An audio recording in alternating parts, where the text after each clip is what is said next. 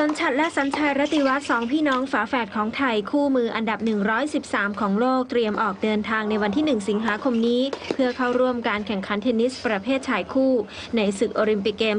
2016 ที่นครริโอเดจาเนโรประเทศบราซิล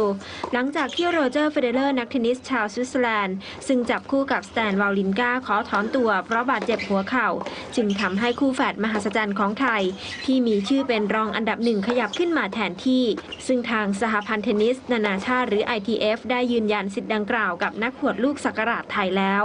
ทำให้ทัพนักกีฬาทีมชาติไทยได้รับโคต้าโอลิมปิกเพิ่มอีก 2 ที่นั่งจากเทนนิสประเภทชายคู่ และทำให้ตัวเลขนักกีฬาไทยล่าสุดรวมอยู่ที่ 54 คนจาก 17 ชนิดกีฬา